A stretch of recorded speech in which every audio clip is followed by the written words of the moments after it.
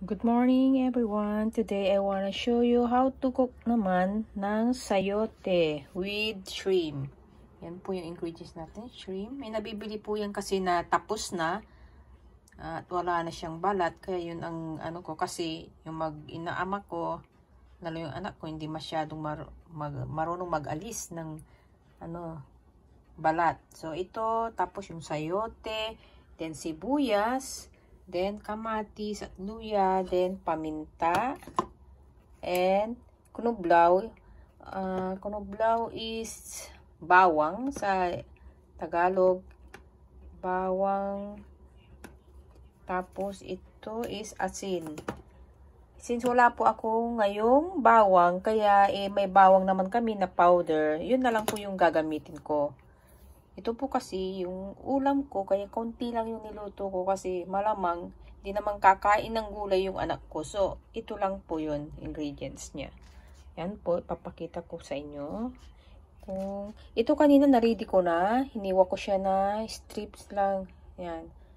Tapos yun, as usual, mayroon po ako laging luya. Kasi ang luya daw, maganda po yan sa katawan. Yan po. Then, iluluto na po natin. Ayan, nilagyan ko po siya ng, mantika na. Then, hintayin natin uminit ng konti. Then, ilagay natin yung sibuyas. Ayan na po, mainit na po siya. Then, ilalagay ko na po yung sibuyas.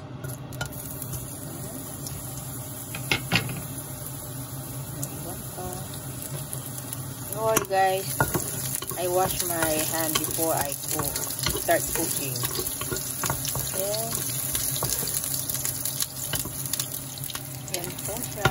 Then, yung luya.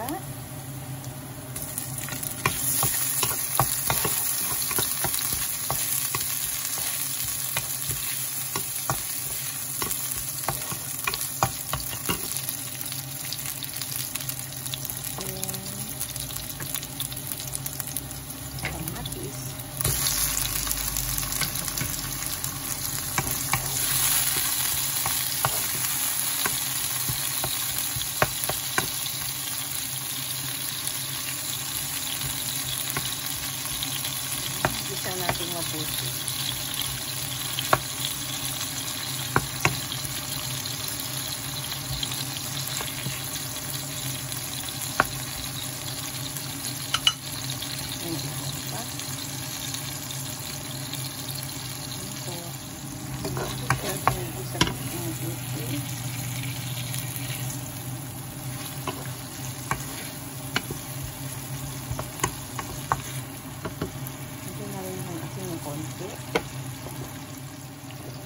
Then, paminta.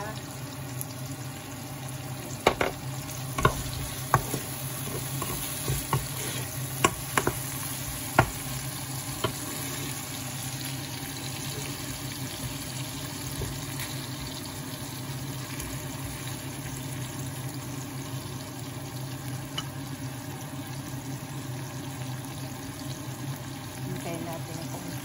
2 minutes Ayan finish siya. Then, yung ating cream. Then, here.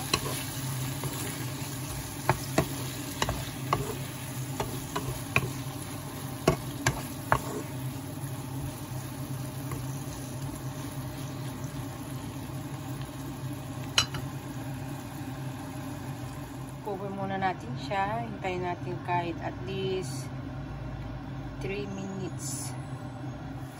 Ayan. Ito na po yung stream. Then, pull natin po yung sayote. Ayan po. Ako kasi niluluto ko lang yung sayote. Yung half cook lang para hindi masyadong ano, yung parang lanta. Ganun. Mga 2 minutes try natin. Then, lagyan ko ulit ng kunting asin lang. Yung paminta.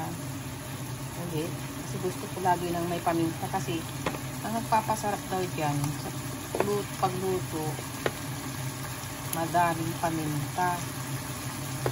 Then, of course, yung kalimutan kong sabihin sa inyo kanina. Lagyan, nilalagyan ko din siya ng more cubes. Ayan po, more cubes.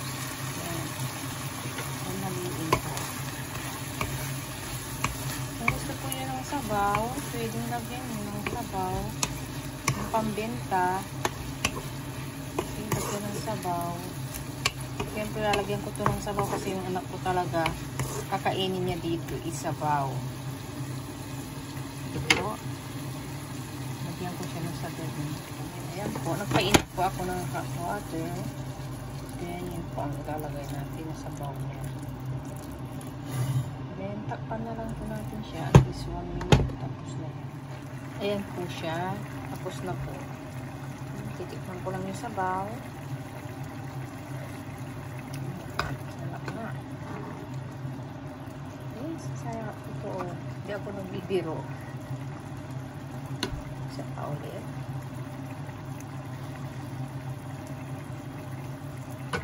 Since ako lang naman yung kakain nito. Kaya, kaya lang, natikman ko. Ayan po, tapos na po siya. Isa-serve ko na po. Siya nga pala kung guys, kung may natutunan po kayo ngayon sa pag-aking niluto, push the subscribe and push the bell para ma-notify po kayo. At pa-like na rin po and share. Thank you po.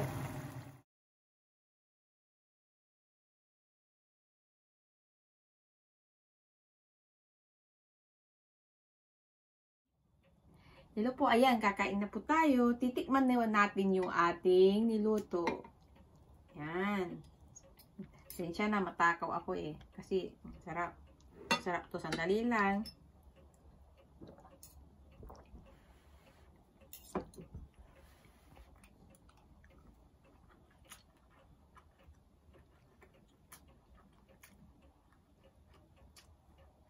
Ang sarap. Lalo na yung sabaw. Sandali.